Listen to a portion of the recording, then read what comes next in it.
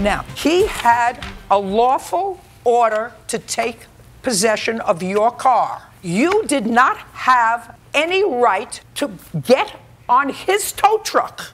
You had no right to do that. And when you did it, whether he was injured, whether he was punched, is relevant. But you caused a situation that endangered not only his life, but yours or other people in the street because what happened was you crashed. And you crashed because of your actions. No, ma'am. Oh, oh, well, I say yes, you say no.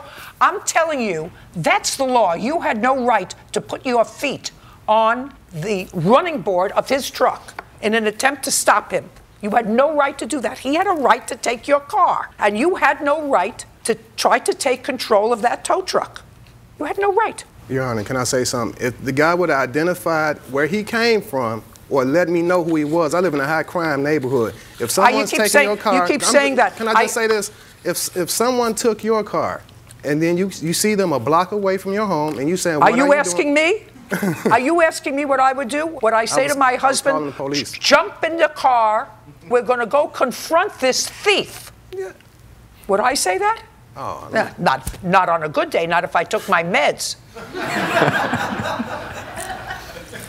no, you're on the phone with the police. You said, There's a black tow truck that just took my car. Here's my car's license plate. Here's the license plate number of the truck that just took my car. And you let the police do their job. But the bottom line is, you can say whatever you want. He had a right to take your car, and you had no right to get on his. And you caused an accident, and you don't get rewarded for that. Were you treated for any injuries? No, Your Honor. Do you have pictures of the accident? Yes, I do. I'd like to take a look at them. Also, may I just say, add one more thing? I was never given an accident report or put in the accident. They never said I caused the accident or anything. I just told you you caused here. an accident. And then there's You got the ultimate, Okay. the ultimate person to tell you that you caused the accident.